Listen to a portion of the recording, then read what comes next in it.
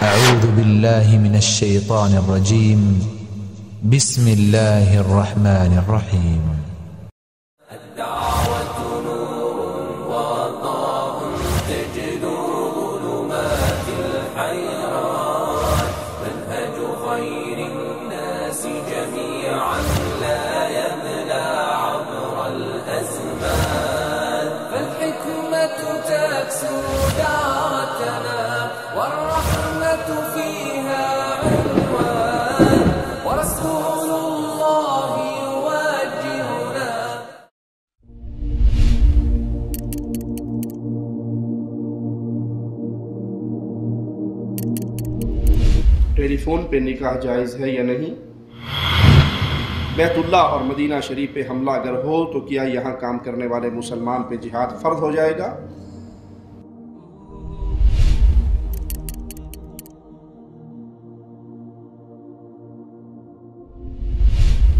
किसी भाई ने एक बीमारी के बारे में सवाल किया है कि किसी को पेशाब के कतरे गिरने की तकलीफ़ हो, कभी वज़ू के दरमियान, कभी नमाज़ के दौरान इस हालत में क्या करें? वीडियो कॉल के बारे में किसी भाई ने सवाल किया है, ये कैसा है?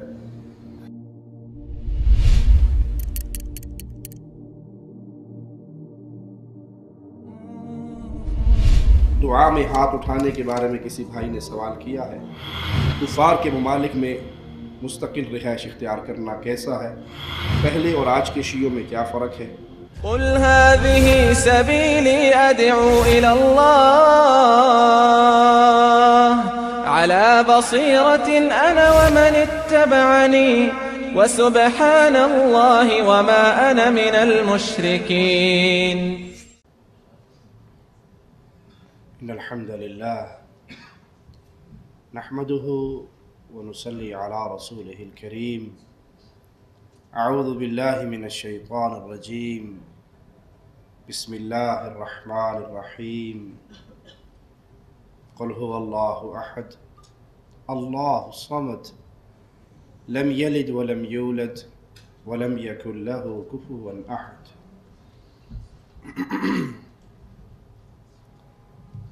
साइल कहता है कि दाढ़ी के बारे में बताइए नबी सल्लल्लाहु अलैहि वसल्लम की अहादीत की रोशनी में क्या हुक्म है? प्यारे भाइयों, जिन अयाम में हम सांस ले रहे हैं, कि आखिरी दौर नज़र आ रहा है, जिसमें फितने बहुत बुरी सूरतों में ज़ाहिर हो रहे हैं। इन फितनों में जो बहुत बड़ा फितना आज के दौर में मुसलमानों पे हमला आवर है, वो इस्लामी तशख़ुस की बर्बादी का है। मगरब ज़दा लोग, वो मुसलमानों में ये चाहते हैं कि बस इस्लाम का नाम रह जाए, मुसलमान बाकी ना रहे। उनके लिए इस्लामी ड्रेस, इस्लामी शायर, वो इंतहाई काबिल नफ़रत बन चुके हैं। तो वो मुजरिम, इस्लामी मराकज़, इस्लामी मदारस, इसके ऊपर आग बरसाते हुए कहता है कि ये जिहालत की यूनिवर्सिटी हैं। इस्लामी मदारस जिहालत की यूनिवर्सिटी है। हालाँकि इस्लामी मदरसे की बुनियाद मोहम्मद रसूलुल्लाह सल्लल्लाहु अलैहि वसल्लम ने रखी। प्यारे हबीब वस्सलाम का पहला मदरसा असहाब सुफ़ा का, जहाँ उन्हें कुरान और हदीत की तालीम दी जाती और इस्लामी मदारस अमन खैर खाही शांति के मराकज़ हैं। क्योंकि यहाँ कुरान और हदीस की तालीम दी जाती है। जिन मदारस के अंदर कुरान और हदीस को छोड़कर पीरों, फ़कीरों, बुज़ुर्गों, बाबों की इबादतें सिखाई जाती हैं, वो शिर के मराकज़ हैं। लेकिन ये मगरब ज़दा इंसान हर इस्लामी मरकज़ से नफ़रत करते हुए अपने अंदर का बुग्ज़ कैसे निकालता है? कहा, जब किताब की ज़रूरत होती है तो हमें किताब कौन सी दी जाती है? मौत का मंज़र, और मौत के बाद क्या होगा?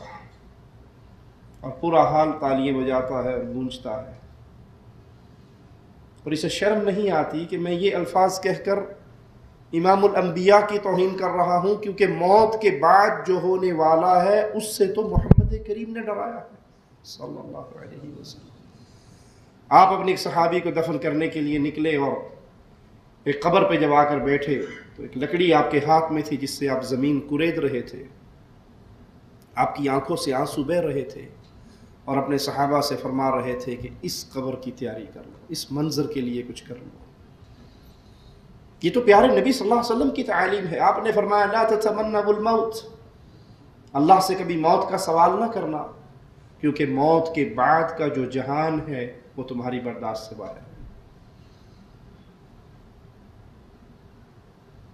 तो दाढ़ी, पर्दा, मस्जिद, मदरसा, इस्लामी हलिया, ये आज शर पसंदों के वार के नीचे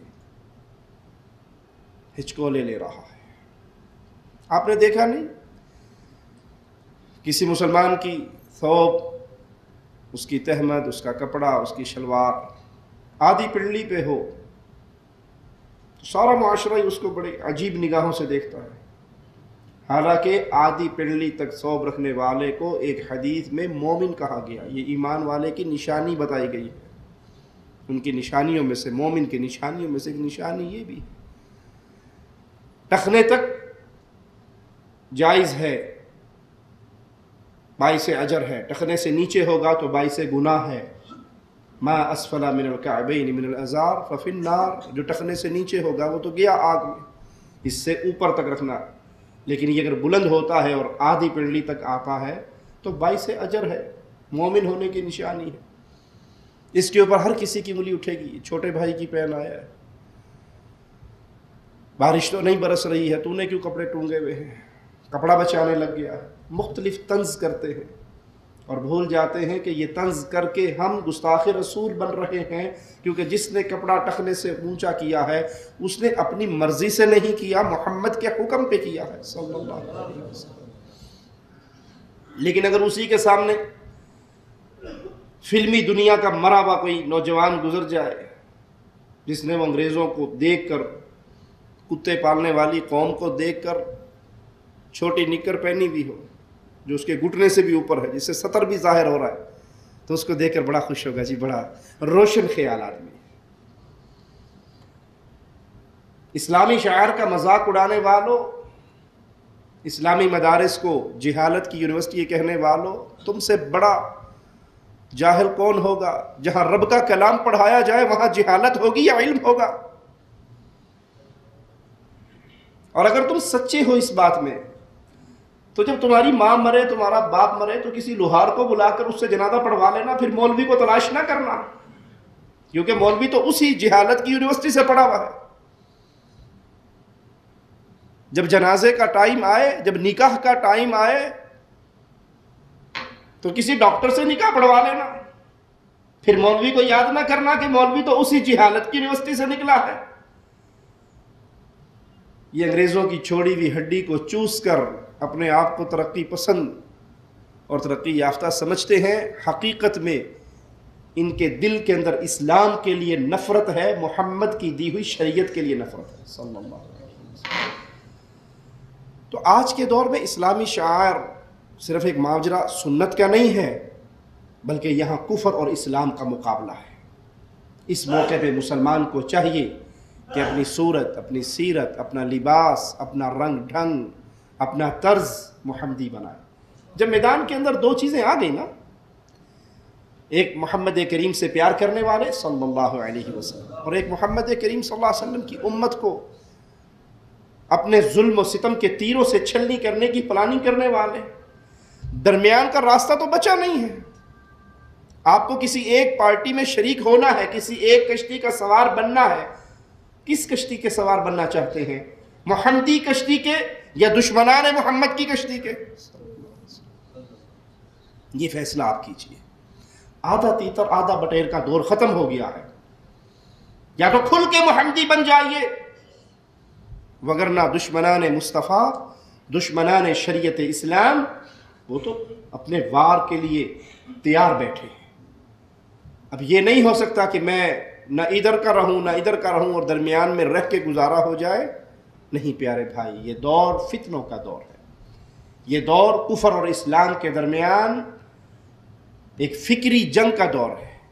इसलिए अपना लिबास, अपना चेहरा, अपनी सूरत, अपनी सीरत, अपना घर, अपना किरदार, एक एक जगह पे मोहम्मदी रंग लेके आइए और अपने बच्चों को, अपनी बेटियों को, अपने घरों को अपने लिबास को, अपने जिसम को, अपने कारोबार को, अपनी दुकान को, जहाँ तक आपका बस चलता है, वहाँ तक मोहम्मद के झंडे को गाड़ दीजिए। सल्लल्लाहु अलैहि वसल्लम। ज़्यादा नहीं, कम अज़ कम अल्लाह के सामने हम इतना तो कह सकें कि अल्लाह मेरी जान पे मेरा ऑर्डर चलता था। मेरी बीवी पे, मेरे बच्चों पे, मेरे घर पे मेरा कानून चलता था। जो मेरे पैसों से पल रहे थे, जिनको रोटी मैं खिलाता था, वो मेरे अंडर थे।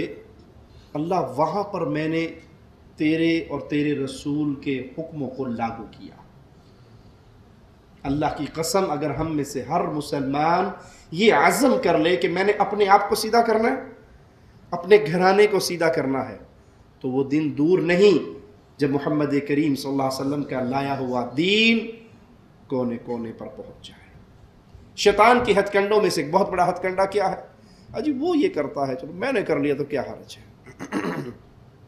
उस घर में ये होता है, मेरे घर में हो गया तो क्या हर्ज है? उसकी बीवी बेपर्दा घूमती है, मेरी घूम लेगी तो क्या हर्ज है? उसके बच्चे 24 घंटे सैनमे के गेट के सामने खड़े रहते हैं, मेरे भी खड़े रहेंगे तो क्या हर्ज है? नहीं प्यारे भाई, आपके दिल में अगर मोहब्बत मुस्तफ़ा का चराग जल रहा है तो आप अपने आप को मोहम्मदी मॉडल बनाकर लोगों के सामने पेश करें कि भाई तुमने जो करना है करो, मैं तो इस्लाम के ऊपर अमल करने वाला हूँ।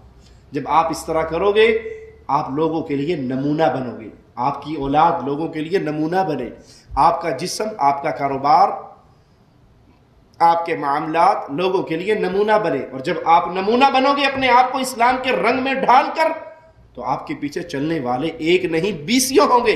और ये याद रखना कि आपको देखकर जो जो इस्लाम के रास्ते पर आएगा, उन सब का सवाब अल्लाह आपको भी अता फरमाएगा। कोर्ट मैरिज के बारे में किसी भाई ने सवाल किया है कि वली राज़ी नहीं होता, लड़की और लड़का घर से भाग कर कोर्ट में जाकर निकाह कर लेते हैं तो क्या यह निकाह दुरुस्त है? रसूलुल्लाह सल्लल्लाहु अलैहि वसल्लम का फरमान है, जिस निकाह में वली राज़ी नहीं है। ला निकाह इल्ला।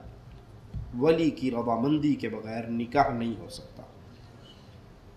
जो लड़की अपने घर से भागती है माँ बाप की इज़्ज़त को खाक में मिलाती है, उनकी पगड़ी को उछालती है और कोर्ट में जाके लव मैरिज कर लेती है, वो जिना कर रही है, वो बदकारी कर रही है, वो निकाह नहीं है। इस्लाम बड़ा अतदाल वाला दीन है। जहाँ लड़की के लिए वली की शर्त है, वहाँ वली के लिए लड़की की रजामंदी भी शर्त है। जो ये ज़बरदस्ती चलती है मुख्तलिफ़ इलाक़ों में, कबाइल में, कि लड़की से पूछा ही नहीं जाता बेचारी से। रिश्ता आ जाता है माँ बाप देख लेते हैं, राज़ी हो जाते हैं, पसंद हो जाते हैं।